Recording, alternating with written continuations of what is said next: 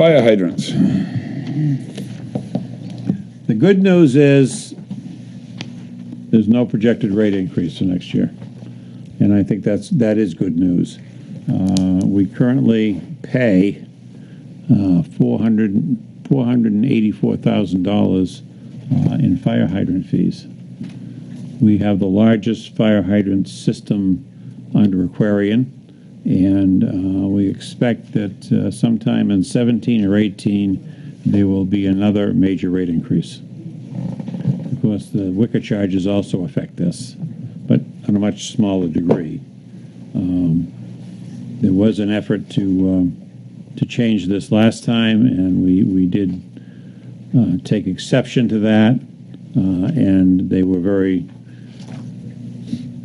they very gingerly increased the rate last time we had a rate increase uh, because they were cognizant of the fact that uh, well it gets to the point where it'd be cheaper for us to own the hydrants than it would be for them. Uh, and they provide no service other than to make sure they operate.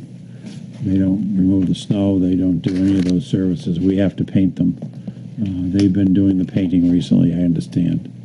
Um, you know, we had to instruct them on how to do that because they didn't know how to how to paint the hydrants.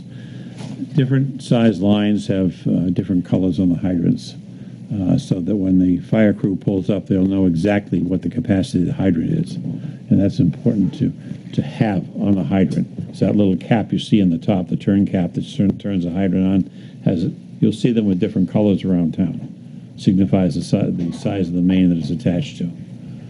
So they've been working with us to try to get these things done, but uh, as in all things, um, at least in the time I've been with the town, we've had almost 76% rate increases in this line item. Just rate increases.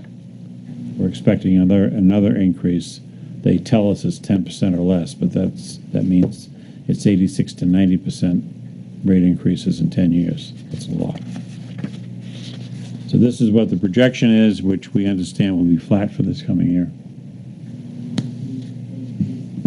Any questions? Very good.